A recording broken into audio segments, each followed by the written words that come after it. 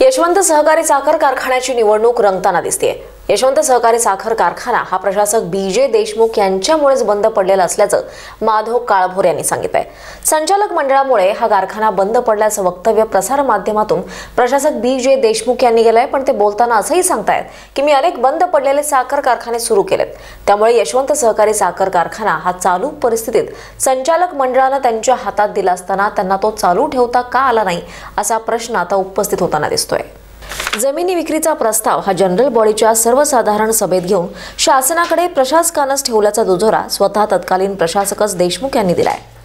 कारखाना हा प्रशासकाच्या काळात बंद पडला असल्याचा दुजोरा देशमुख यांनी दिलाय. म्हणून संचालक यांच्या काळात कारखाना बंद पडला हे तथ्यही नसून यशवंतच्या पंचवीस एकर जमीन विक्रीचा प्रस्ताव हा देशमुख यांनीच दिल्याचं यातून स्पष्ट होत आहे यशवंत साखर कारखाना त्यांना चालू परिस्थितीत मिळाला होता. मग तो त्यांना चालवता का आला नाही चालू ठेवता का आला नाही? आणि आज तेरा वर्षानंतर ते सांगतायत की संचालक मंडळानं तो कारखाना बंद पडला. एवढे दिवस का बोलले नाहीत? यामध्ये आम्ही प्रशासक बी जे देशमुख हे या निवडणुकीत कुठेतरी एकतर्फी भूमिका घेऊन आरोप करतायत. यावेळी माधव काळभोर यांनी असंही सांगितलंय की प्रशासकांनी अशी निवडणूक प्रक्रियेमध्ये सहभागी होण्याची भूमिका ही कायदेशीर नसून त्यांच्यावर आम्ही कायदेशीर कार्यवाही करणार आहोत.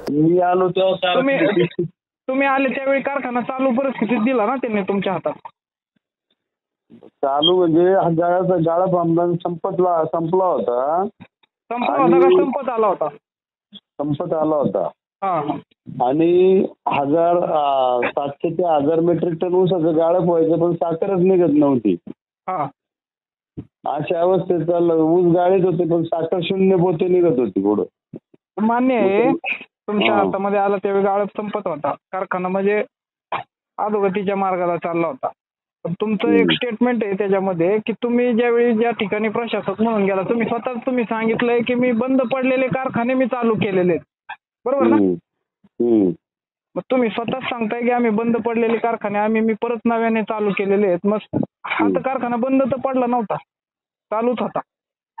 फक्त तुम्ही परत अजून नव्याने चालू करू शकत अहो- सुरेश हा. त्याच्यावर बँकांची थकबाकी होती. हा. त्याच्यावर कामगारांचे देणे होते.